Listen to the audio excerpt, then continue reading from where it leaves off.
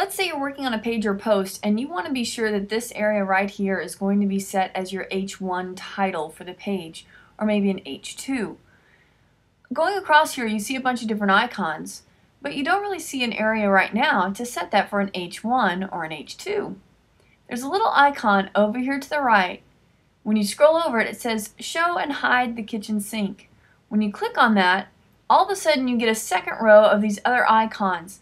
This is your drop down area that has a bunch of different options and that is where we'll go ahead and be sure to highlight the title that you want to be, the text that you want to be your title, scroll down, select header 1, that will instantly write the code that it needs to set that to a header title and then you can come over here to the right side and go ahead and click publish or update.